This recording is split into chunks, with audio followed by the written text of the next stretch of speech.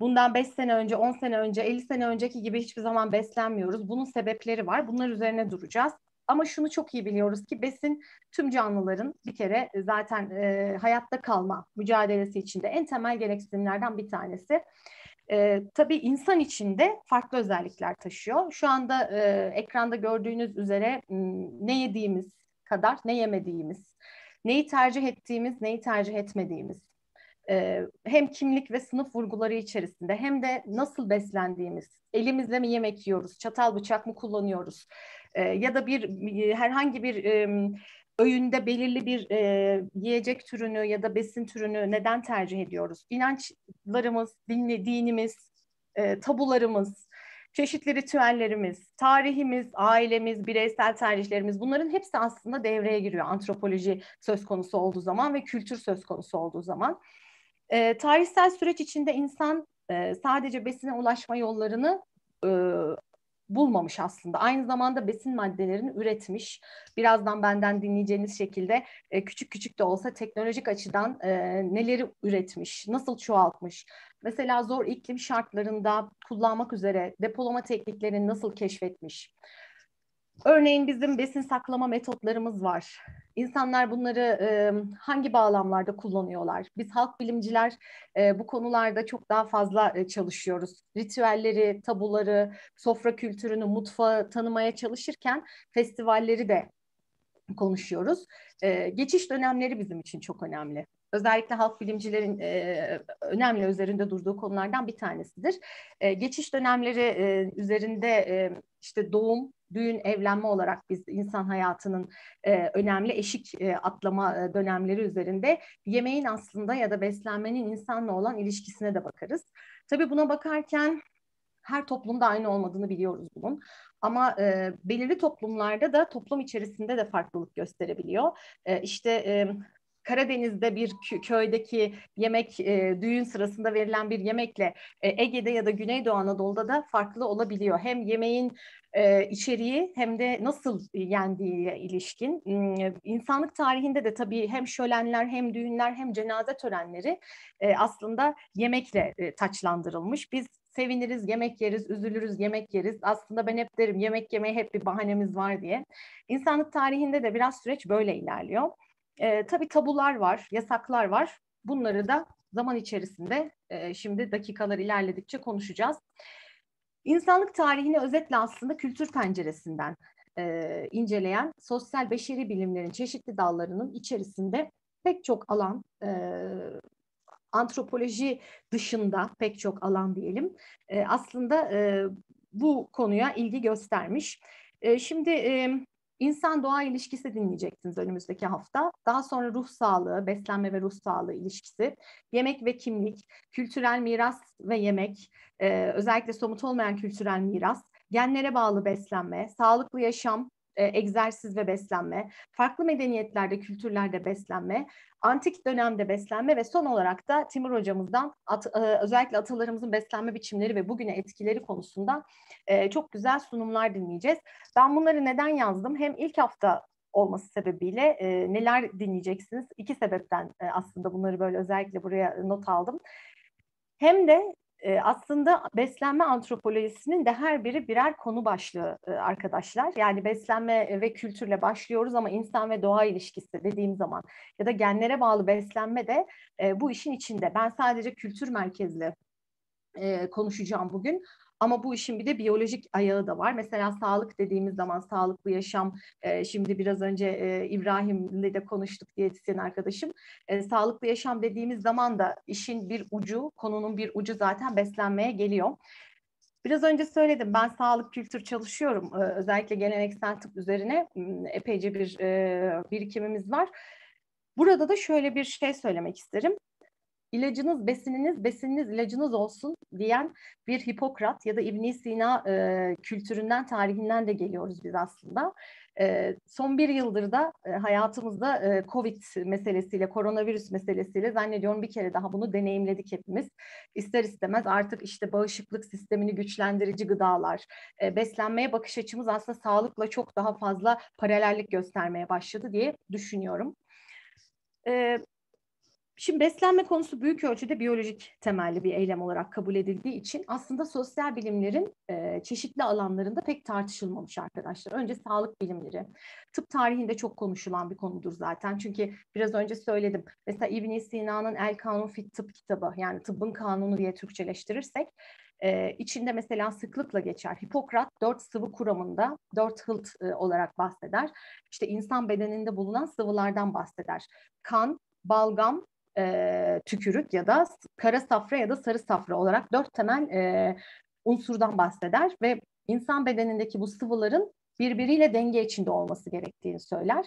E, bugün modern tıp da bunu kabul ediyor zaten. E, hastalık da ne zaman oluşur e, sorusuna insan bedenindeki bu sıvıların dengesizliği döneminde.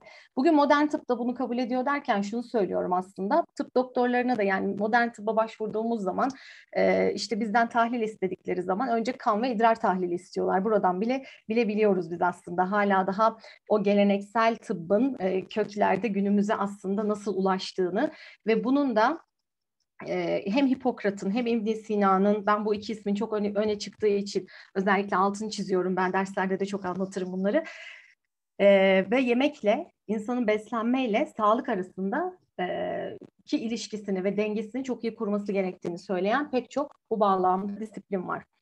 Şimdi e, hangi disiplinler e, ön plana çıkıyor e, ve bu disiplinler içerisinde kim neler çalışıyor? Birazdan bunlara değineceğim e, antropoloji, sosyoloji, psikoloji, tarih şu anda slaytta gördüğünüz gibi e, bakın burada geleneksel bir köy e, düğünü üzerinden e, yukarıda geleneksel bir köy kazanı kaynıyor. İşte e, çok büyük bir sofra kurulacak biraz sonra belli ki e, ve geleneksel kazanlarında e, pişiyor pek çok yemek. Alt tarafta da e, bir köy düğünü, Rönesans dönemine ait bir köy düğünü isimli bir tablo görüyorsunuz.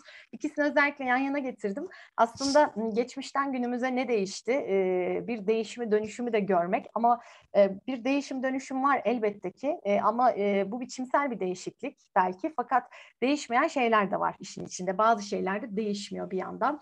E, kültür böyle bir şey çünkü biz kültürle ilgili konuşurken e, derslerimizde hep kültür durağandır ama aynı zamanda süregendir deriz. E, kültürün temel özelliklerinden e, bir tanesidir bu. Dolayısıyla biz beslenme ve mutfak tarihi ya da beslenme antropolojisi konuşurken zihnimizin bir kenarında şunun olması lazım. Evet değişim kaçınılmaz. Pek çok şey değişiyor. Belki yediğimiz içtiğimiz kaplar değişiyor. Oturduğumuz sofralar değişiyor. Belki çatal bıçaklarımız değişiyor. Yediğimiz yemeğin, yemek e, besin ürünleri de değişiyor ama değişmeyen bir şey var. O da e, besleniyoruz biz bir şekilde. Beslenmek zorundayız hayatta kalmak için. Buradan başlıyor hikaye. Ama dediğim gibi günümüze gelene kadar bu e, hikayeyi pek çok açıdan inceleyen şu anda ekranda da gördüğünüz gibi pek çok disiplin bu konuya ilgi göstermiş. Halk bilim, sosyoloji, tarih, antropoloji, sanat tarihi, psikoloji gibi pek çok alan e, günümüzde sizlerin de tahmin ediyorum ki e, takip ettiğiniz gastronomi ve mutfak sanatları gibi pek çok program artık üniversitelerde kendilerine bağımsız birer e, program açmaya başladı. Ve e, ben takip ediyorum biraz. Üniversitelerde e, puanları da oldukça yüksek. Bu arada özel üniversitelerde de epeyce bir program açılmaya başlandı. Çünkü geleceği de çok parlak görünüyor demek ki. Yani böyle bir öngörü de var. Özellikle gastronomi ve mutfak sanatları e, açısından. Tabii özel aşçılık okulları ve kursların sayısı da günümüzde yine azımsanmayacak ölçüde. Yani bir yandan biz akademik olarak çalışmalarımıza devam ederken bir yandan da hayat, gündelik hayat, e, ekonomi, kapitalist sistem, eğitim bunların hepsi de bir yandan hayatın içinde devam ederken aslında kendine de bir iş alanı, bir istihdam kapısı yaratmış durumda e, bu tür çalışmalar diyebilirim. Şimdi e, nedir hocam beslenme konusunu antropoloji e, içerisinde değerlendirmemize e, değerlendirmemize sebep olan ve özel kılan derseniz e, bir kere biraz önce de söyledim. Büyük ölçüde e, biyolojik kaynaklı diye e, öncelikle çok sosyal bilim dalları e, çok fazla ilgi göstermemiş ama zaman içerisinde özellikle yemeğin kimliğe ilişkin bir kategori olması, özellikle antropologların e, ötekilerden bizi ayıran temel özelliklerden bir tanesi olarak yani ben kimim sorusunun karşılığında biliyorsunuz öteki böyle bir kategori. Ben kimim e, kategorisinin karşısında e, senden farklı olan ya da sen kimsin benden farklı olan diye e, ifade ettiği ve ben ve öteki arasında aslında bir ayrıma gidebildiğimiz o e, temel özelliklerden biri olarak. Çünkü ne yiyorsan olsun yani bana ne yediğini söyle sana kim olduğunu söyleyeyim e, düsturunda olduğu gibi aslında yediklerimiz içtiklerimiz bize bir yandan kim olduğumuzu, nerede yaşadığımızı, ailemizi, nereli olduğumuzu, e, hangi inanca e, sahip olduğumuzu da hangi din ya da inanç sistemi içinden geldiğimizi de söyler.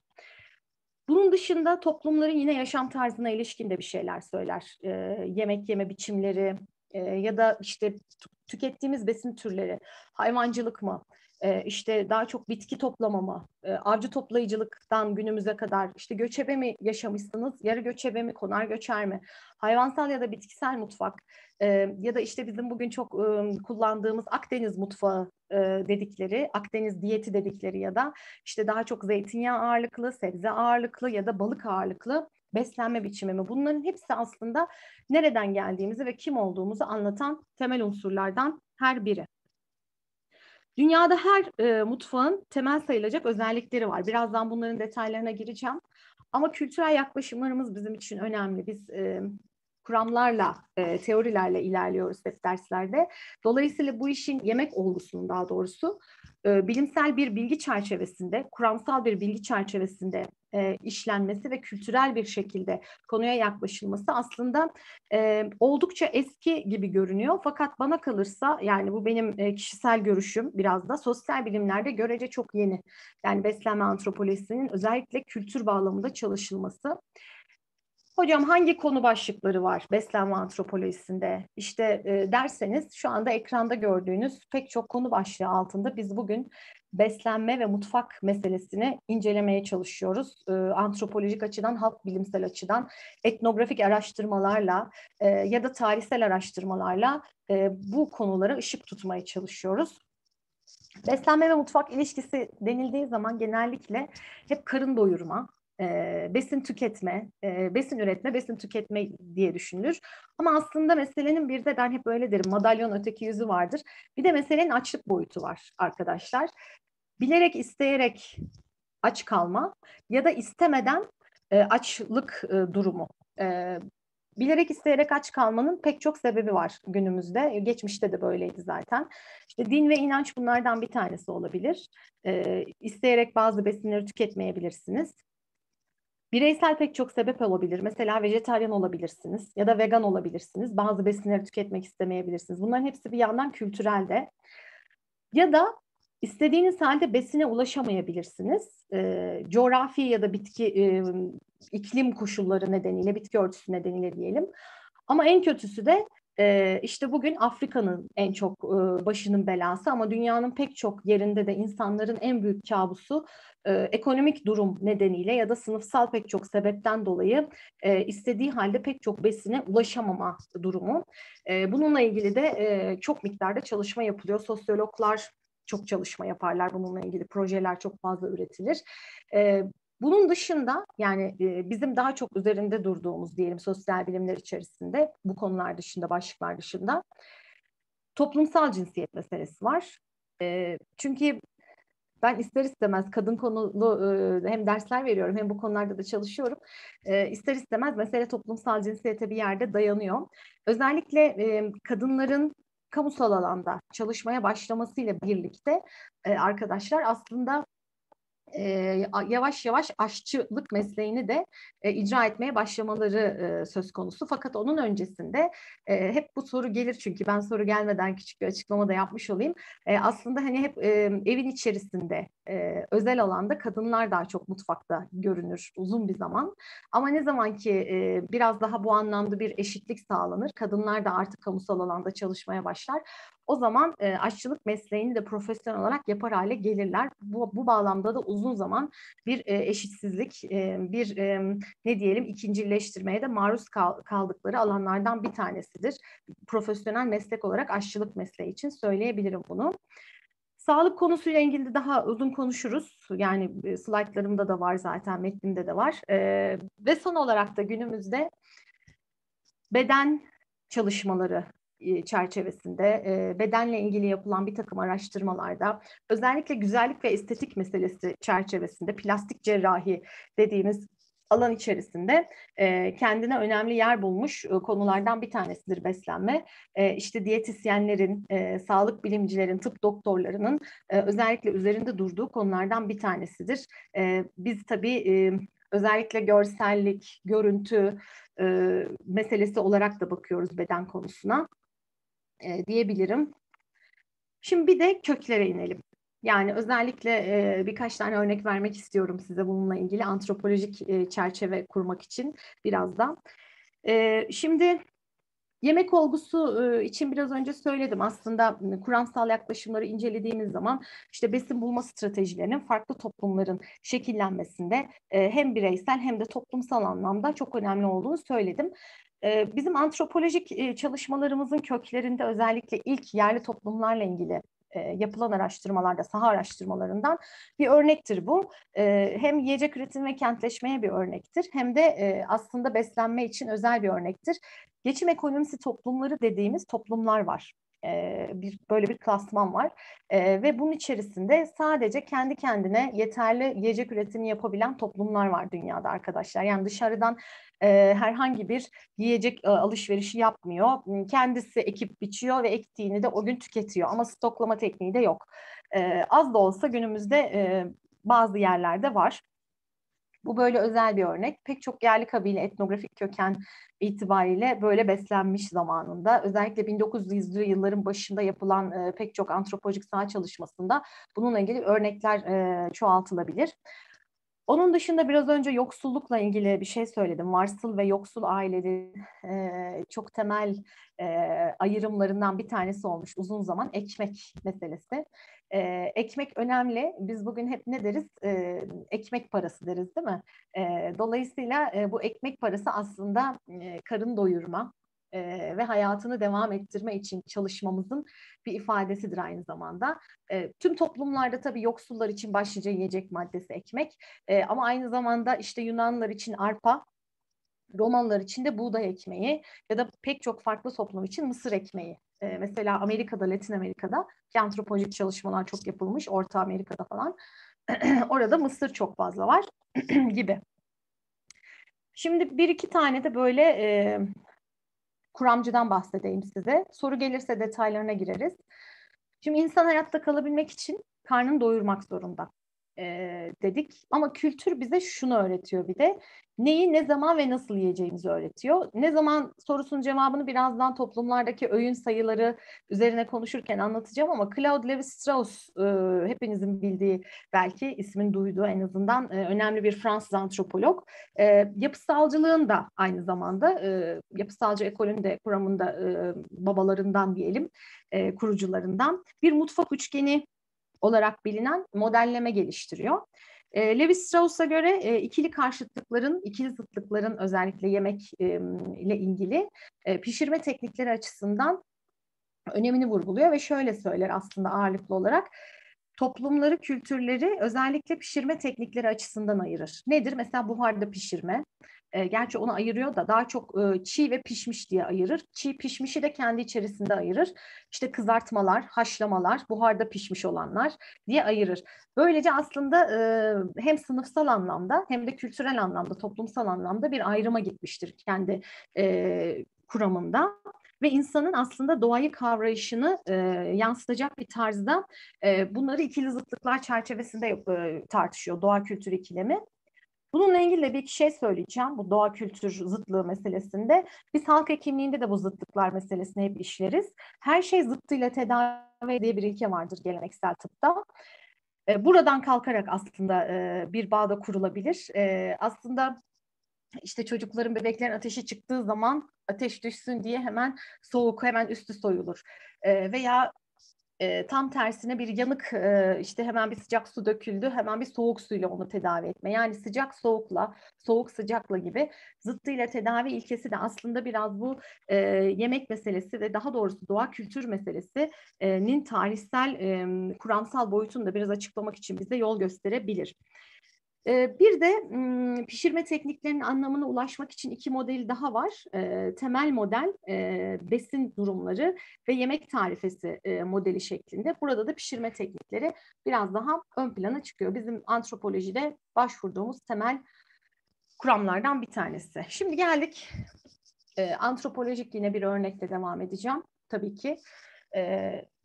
Şimdi Alaska yerlileri saha araştırmalarının çok yapıldığı, pek çok araştırmacının e, gidip oralarda e, çalıştığı e, ve onları e, metin halinde notlaştırdığı, kitaplaştırdığı ve bizlerin de kitaplardan okuduğumuz e, özel önemli örneklerden bir tanesi Alaska yerlileri. Şimdi yemek e, konusu içerisinde özellikle balina avcılığı geleneğiyle çok ön plana çıkmış bir toplum.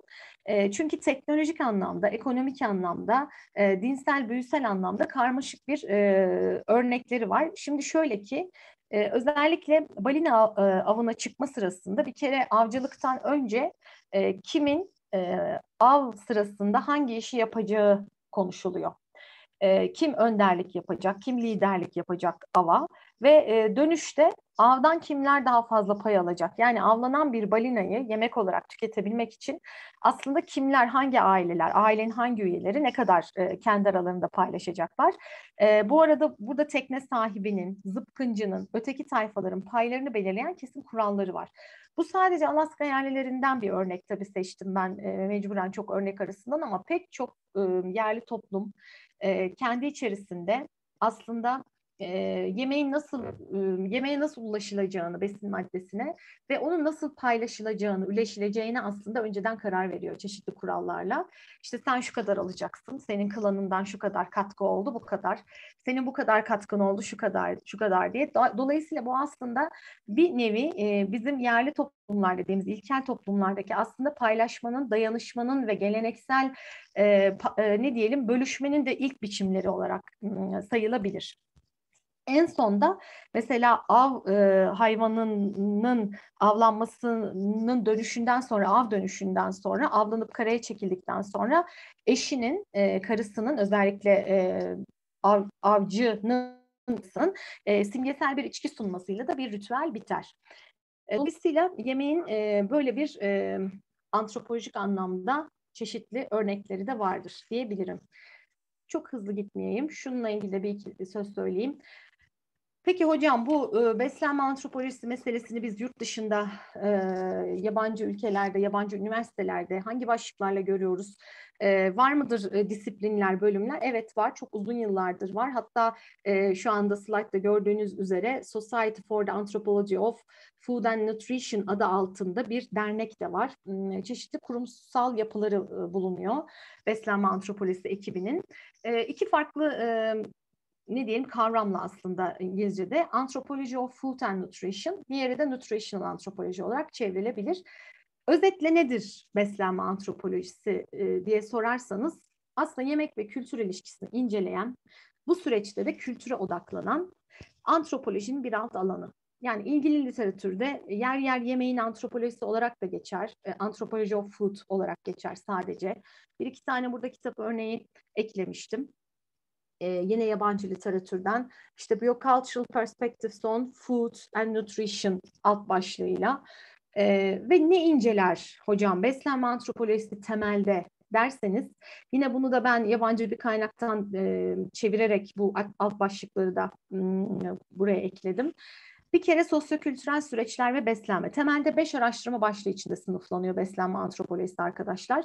E, ikincisi sosyal epidemiyoloji yani daha çok salgın hastalıklar e, üzerine günümüzde e, malum e, şu anda deneyimlediğimiz süreç. Kültürel ve ideolojik sistemler ve beslenme. Dördüncüsü fizyolojik uyum, adaptasyon, nüfus genetiği ve beslenme. Özellikle bunu muhtemelen e, beşinci haftadan sonraki sunumlarda dinleyeceksiniz genetikle ilgili boyutunu. E, son olarak da beslenme programları için bir takım uygulamalı araştırmaları, uygulamalı antropoloji de bunların içinde, uygulamalı sosyoloji de bunun içinde e, kapsayan beş temel e, araştırma başlığı içerisinde inceleniyor, kategorileştiriyor diyebilirim.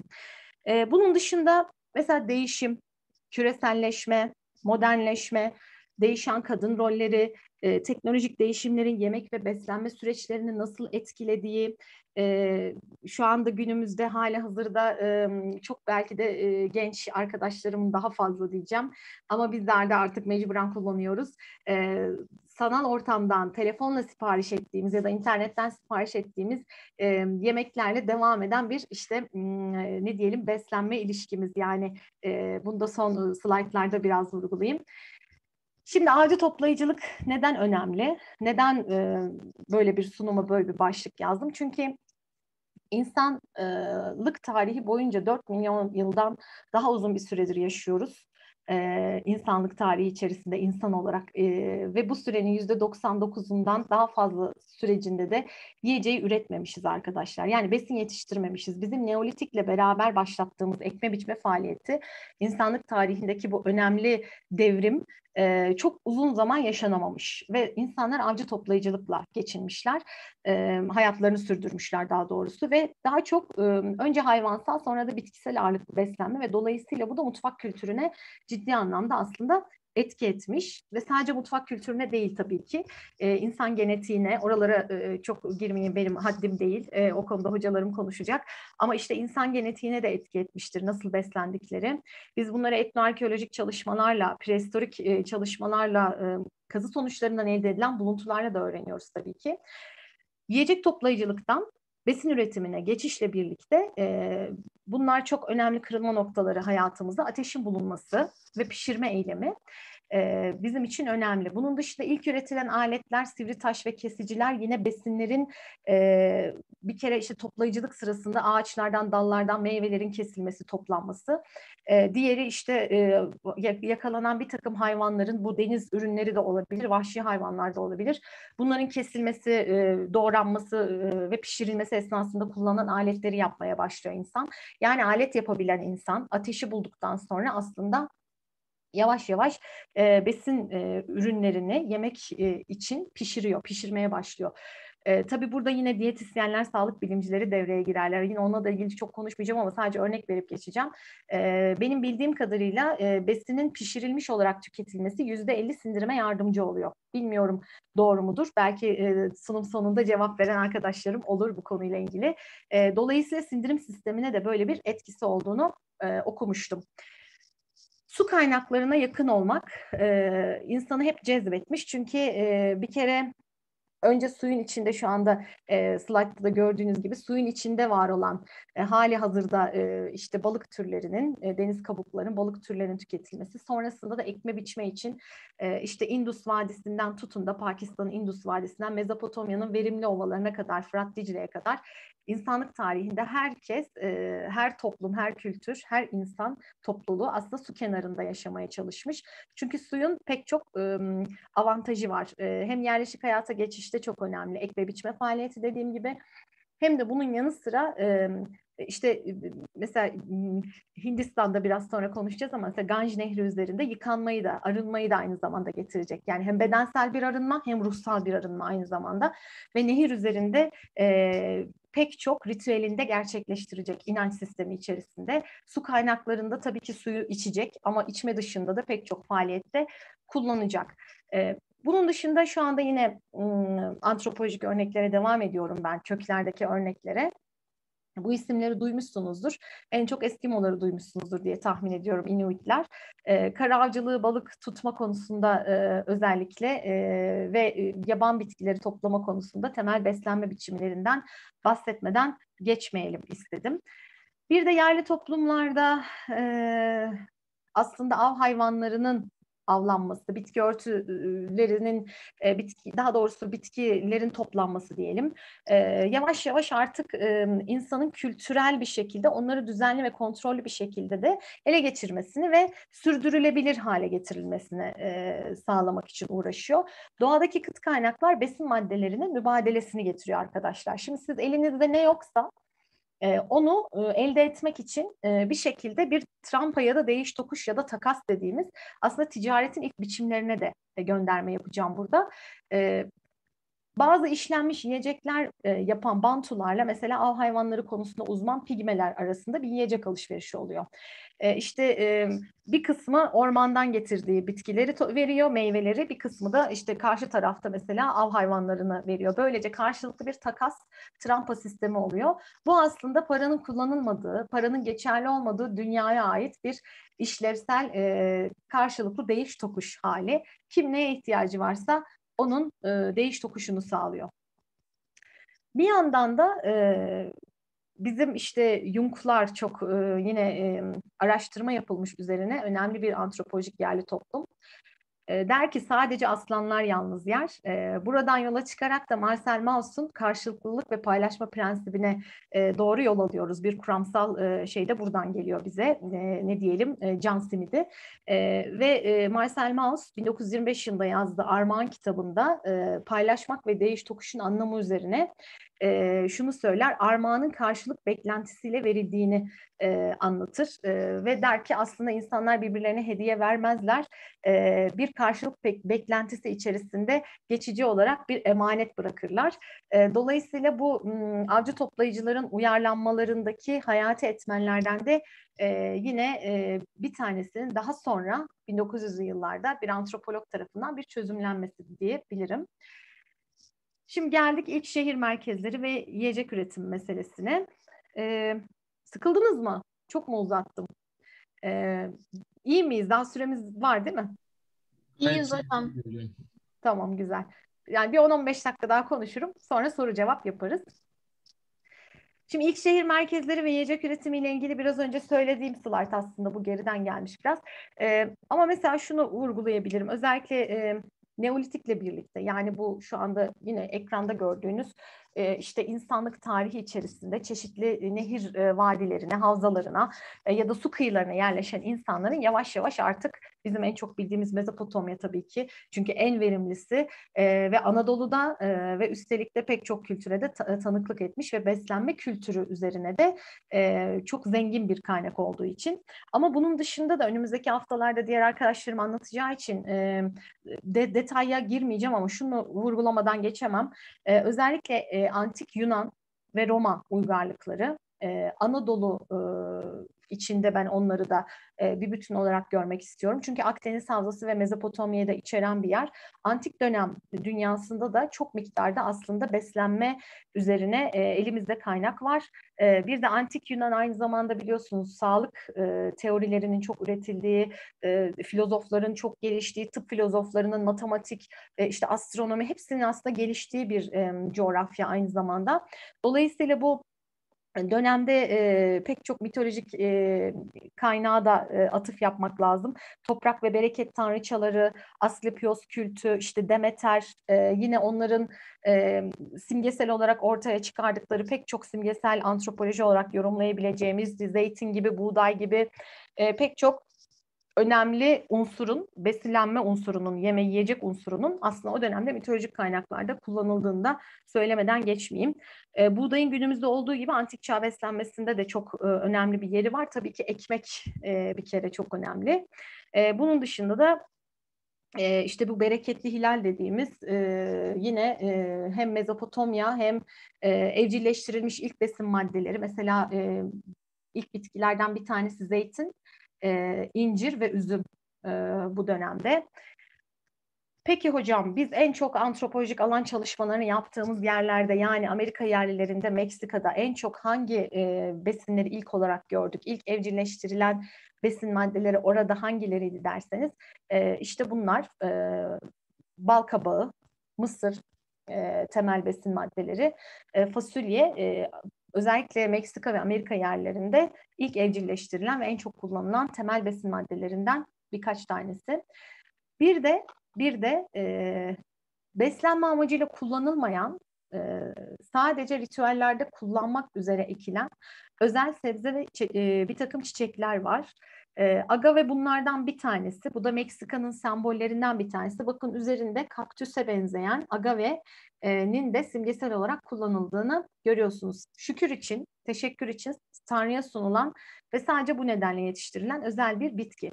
Fakat e, agave biliyorsunuz günümüzde kullanılıyor bu arada. Agave şurubu olarak. E, hatta yanlış bir şey söylemeyeyim ama duyduğumu söylüyorum. E, şeker hastalarının e, bazı e, yiyecek maddelerinin ya da içecek maddelerin içerisinde agave şurubunun e, kullanıldığını biliyorum bazı yerlerde. Buna benzer pek çok kök, işte kaktüs ya da benzeri e, otların, çiçeklerin, ağaçların suyunun, öz suyunun ya da yağlarının kullanıldığını e, biliyoruz. Pek çok amaçlı, kozmetik amaçlı kullanılabiliyor, işte sağlık, tedavi, şifa amaçlı kullanılabiliyor gibi. Şimdi bu da e, bunu da e, özellikle e, e, hocam, Gürbüz hocam, Gürbüz Erginer rahmetli e, bize yiyecek üretimi dersi anlatı, anlattı bir iki yıl e, ben lisanstayken. Yiyecek üretimi ve kentleşme diye bir dersimiz vardı bizim. Kentleşmeyi anlatırken, yiyecek üretimini anlatırken bu plantasyon çiftliklerinden hep bahsederdi. E, yine bunlar da antropolojik araştırmaların, saha araştırmaların ilk aslında bize e, terminolojiye kattığı e, önemli e, kavramlardan bir tanesi plantasyon çiftlikleridir. Nedir bu? Tek tip besin üretimi yapan yerlerin artık e, pek çok ülkede e, Latin Amerika'da başlamış ama pek çok ülkeye de yayılmış. Ama bir yandan da bunlar e, arkadaşlar sınıf kavramını da ortaya çıkmış bu plantasyon çiftlik, e, çiftlikleri. Çünkü e, elbette ki bir işveren var, bir de işçi var, çalışan. Ve burada sınıf kavramı da devreye giriyor. İşçi sınıfının temelini zaten besin üretimi yapan e, kırsal emekçi sınıf oluşturmuştur dünyada da. E, bu noktadan sonra artık e, Neolitikle birlikte e, geri dönüşü olmayan yola girdi insanlık tarihi. Ekme biçme faaliyetleri ve bunun kültürel olarak artık e, nasıl stoklanacağı bu e, ürünlerin özellikle depolanması, depolanacak kadar fazla besin üretimi, besin maddelerinin saklanması için e, iş bölümü yerine artık uzmanlaşma kavramının geldiğini görüyoruz. Pek çok kavramı da bu arada hayatımıza almış olduk bunlarla birlikte. E, ürünü stoklamak için teknoloji geliştirdik. Evet, e, teknolojiye ayak uydurduk ama bir de halkın kendi e, besin koruma saklama yöntemleri var. Ondan da gelecek şimdi slaytım onun üzerine konuşayım. Bunlar da ilk e, yine evcilleştirilen besin maddeleri. Pirinç, e, yine uzak doğunun buğdayı olarak lanse edilen, Mısır'da e, Türk buğdayı olarak lanse edilen e, ve arpa çavdarla devam eden bir süreç. Şimdi sanayi devrimi önemli kırılma noktalarından bir tanesi burada. E, yani ikincisi daha doğrusu birincisi Neolitik demiştim, ikincisi sanayi devrimi. Temel üretim biriminin aslında kütlesel üretim yapan fabrikalara dönüştüğü bilimsel bir teknolojik devrim olarak geçer. E, neden bu kadar önemli sanayi devrimi? Çünkü artık e, insanlar e, tarlalarında ekme biçme faaliyetlerini kendileri e, yapmıyorlar. Kendileri yerine makinalaşma e, makineler yapıyor ve ciddi bir e, seri üretime geçiyor ve bunun satışı söz konusu. Hem ürünün stoklanması, çok miktarda üründen bahsediyorum e, ve artık o e, Kalahari çölündeki küçük köylerde olduğu gibi yani biz bugün ürettik, bu bugün ürettiğimizi de bugün tüketelim, yarın Allah kerim öyle bir dünya yok. E, artık e, istemediğiniz kadar ürün var elinizde ve bunların bir şekilde bozulmadan saklanması gerekiyor ve bunların satış ve pazarlanmasının yapılması gerekiyor. Yani aynı zamanda beslenme antropolojisi üretim, e, tüketim ve dağıtım mekanizmasının e, bir e, ne diyelim tarihini de anlar, anlatır bize bir yandan. Evet, e, iki sanayi devrimi, e, şey iki önemli devrim demiştim e, insanlık tarihinde. Endüstri 4.0 dedikleri bugün ve üzerine çok konuşulan günümüzde de bu işte sanayi devrimin aşamaları şeklinde. Evet önce mekanik insan gücü ve buhar gücü daha sonra başlayan, daha sonra işte seri üretim, sonra bilgisayar otomasyon, e, sonrasında da 2000'li yıllardan sonra 2011 e, artı demişiz. Ben de bunu bir yerden aldım ama önemli kaynaklar tabii bu bunları yazan siber fiziksel sistemler şeklinde ve günümüzde de dijital çağ artık bizim besin üretimindeki geldiğimiz son nokta. E, onları da konuşuruz sonlara doğru ama e, bu kırılma noktası sanayi devrimiyle birlikte aslında bizim e, UHT ve pastörizasyon tekniğiyle birlikte e, kırılmış e, arkadaşlar.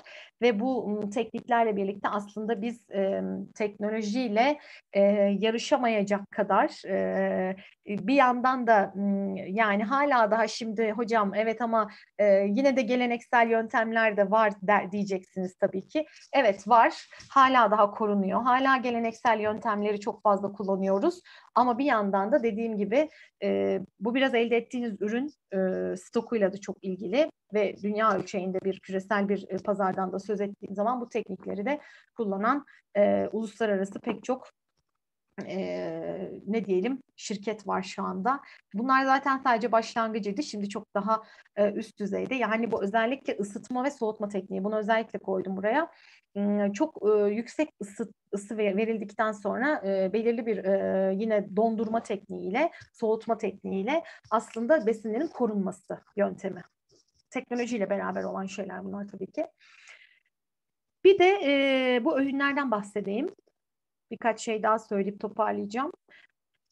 Yemeklerin öğün halinde tüketimi e, sanayi devrimi sonrasında arkadaşlar çalışma saatlerinin düzenlenmesiyle başlıyor.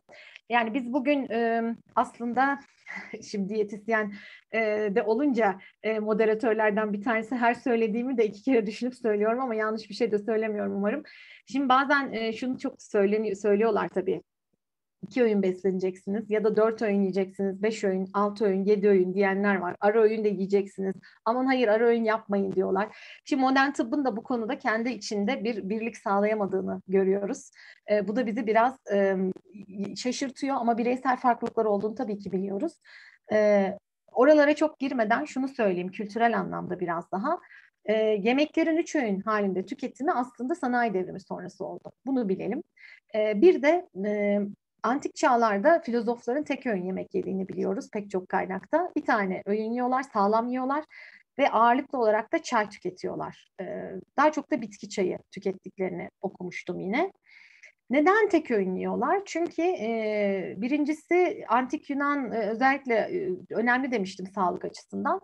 O dönemde yapılan araştırmalar e, insanların çok fazla yemek yemesinin sağlık açısından iyi olmayacağını yani özellikle ibn Sina bunu çok yazmış. Hipokrat da öğün üstüne öğün yeme diyor e, tıbbın kanunu kitabında. Bir ara ver diyor yani iç organların bir dinlensin, e, tüm organları bir dinlendirmek için. Dolayısıyla bunun sağlıkla da bağı olduğu söyleniyor. İkincisi yemeği istediğin zaman her an o kadar çok fazla ulaşamıyorsun zaten. E, böyle bir durum.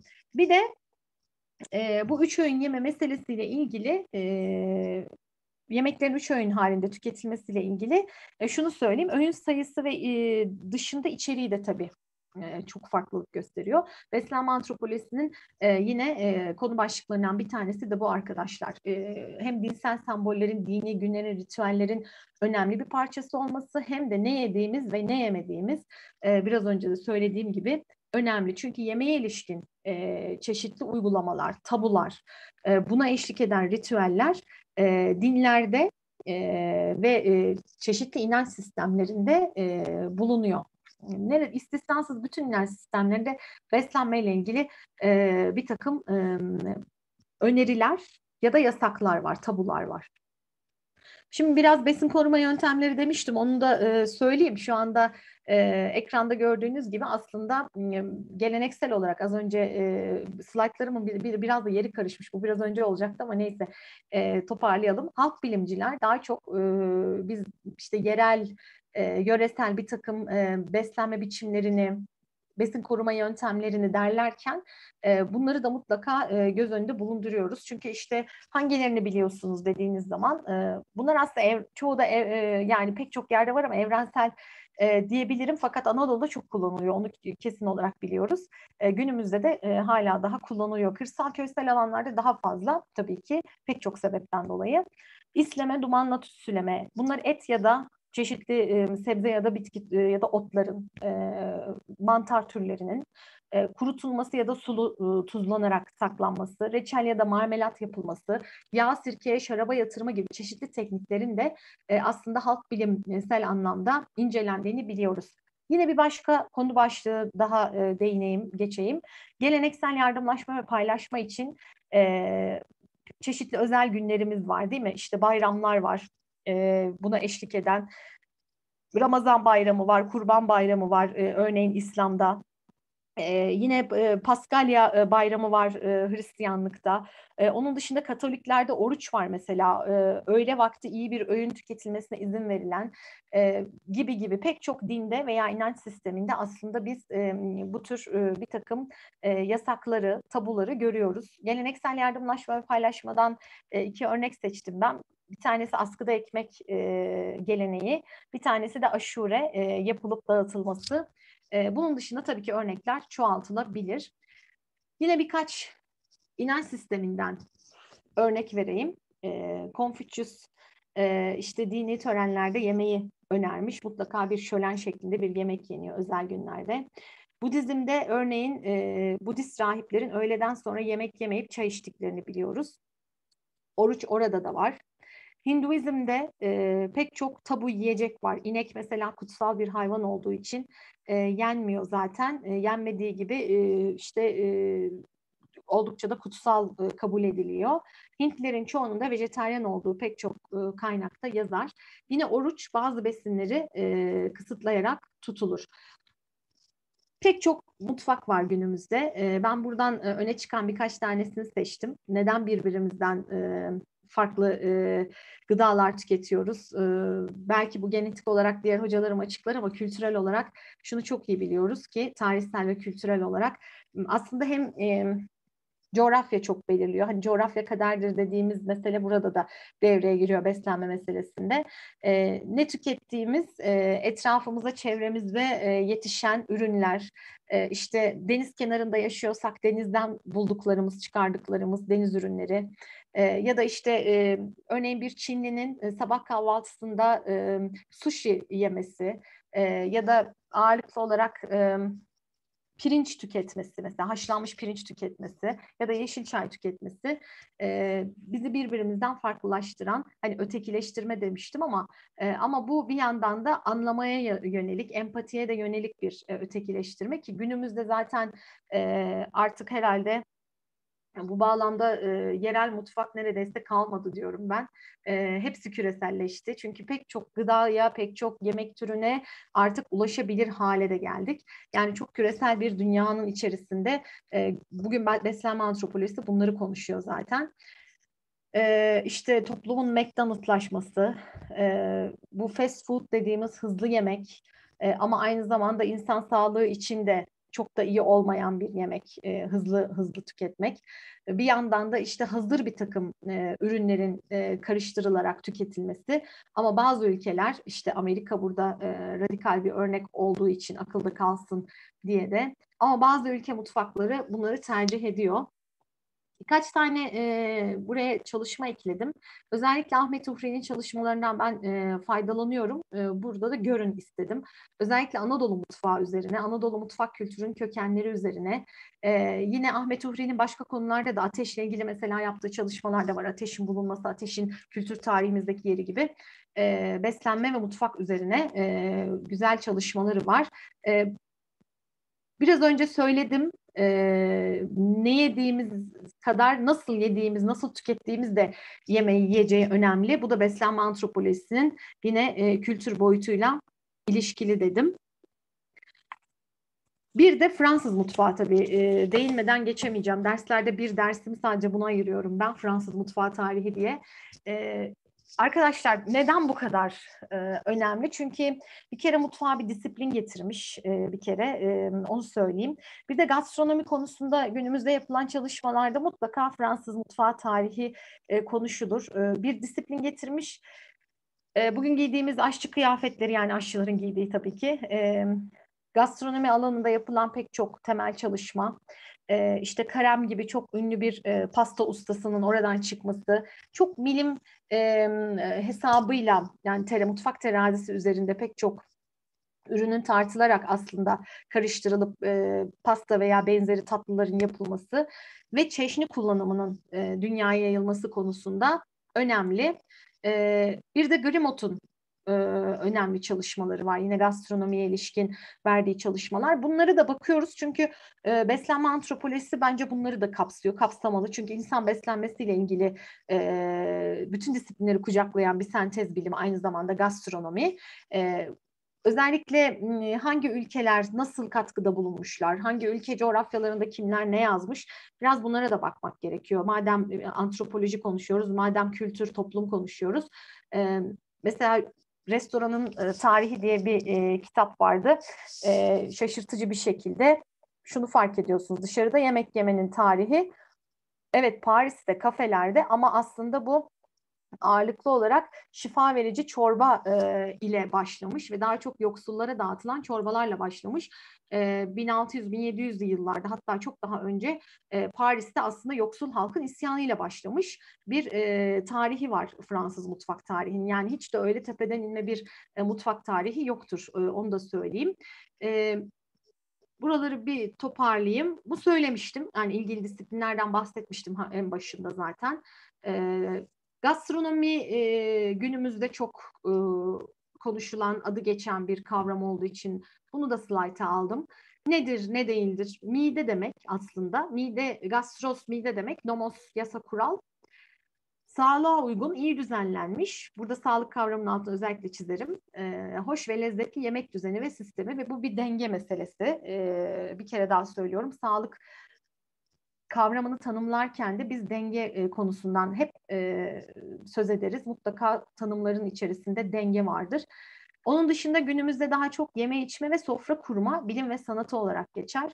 E, bir sanat olarak nitelendiriliyor, nitelendiriliyor e, aslında e, günümüzde. Ve az önce söyledim e, restoran sözcüğünün kökeni Fransızca zaten ve onarmak anlamında ve e, et suyu çorbası yani et ve kemik suyu çorbasından yapılan e, aslında bir e, yani bir tür çorba e, şifa verici, sağlığı onarıcı e, anlamında e, ve e, Fransız devriminden sonra da aslında dışarıda yemek yemenin tarihini biz e, yine e, Paris'ten e, başlayarak okumaya e, başlıyoruz. Yani dışarıda yemek yemek, e, restoran kültürü. E, bu tabii ki sınıfsal bir e, meseleye de yol açmıştır diyebilirim. Günümüzde neler oluyor e, hocam derseniz e, işte yemek turizmi, sağlık turizmi, yöresel yemeklerin derlenmesi çalışmaları, e, elbette ki gastronomi kentleri, önümüzdeki haftalarda arkadaşlarım bahsedecekler UNESCO'nun çalışmalarından. E, Türkiye'de biliyorsunuz Gaziantep e, aslında ön plana çıkan şehirlerden bir tanesi. Bunun dışında pek çok e, şehir var e, gastronomi kenti olarak e, aslında öne çıkan. Turizm bağlamında konuşulan konular e, çok ön plana çıkıyor. E, şunu da söyleyeyim, farklı coğrafyalarda ve iklimlerde yaşıyoruz. E, birbirimizden bizi ayırıyor yemek. Ama bir yandan da ortak sofralarda da buluşturuyor. Bir araya da getiriyor. Yemek birleştiren de bir e, kavram aynı zamanda. E, yani hem ötekileştiren hem de e, bizi birleştiren de bir tarafı da var. E, dolayısıyla farklı disiplinlerde öyle görünüyor ki daha çok uzun yıllar tartışılmaya devam edecek bir alan hem gastronomi ve mutfak sanatları bağlamında hem beslenme antropolojisi konuları her biri şu anda size anlattığım bu işte yaklaşık bir saattir konuşuyorsam bir saatlik sunum içerisinde anlattığım tüm konu başlıkları beslenme antropolojisinin e, halk mutfağının, halk bilimin e, hem de e, pek çok ilgi duyan sosyal bilimin farklı disiplinlerinin konusu. Başta söylediğimi söyleyerek bitireyim. Aynesi iştir, ilmin ada bakılmaz. E, önemli bir e, düstur bizim için. Çünkü e, günümüzde artık e, disiplinler arası çalışmalar çok fazla arttı. Ben sadece bu alanda çalışıyorum deyip de diğer alanlara, diğer bilimin diğer dallarına e, ne diyelim bakmamak, e, onlarla ilgilenmemek mümkün değil. Artık zaten bilim bir bütün de benim e, nazarımda. Yani tıp, sosyal bilim, fen bilimi, doğa bilimi diyebilir. Bence böyle bir ayrım bile e, sadece kağıt üzerinde kalabilir. Çünkü pek çok farklı alanında bize katacağı çok şey var. Biz de sosyal bilimci olarak e, hem sağlık bilimlerine hem tıp bilimlerine e, pek çok e, katkıda sunabiliriz diyorum. E, dikkatiniz için, dinlediğiniz için teşekkür ediyorum. Belki soru cevaplar üzerinden uzatabiliriz.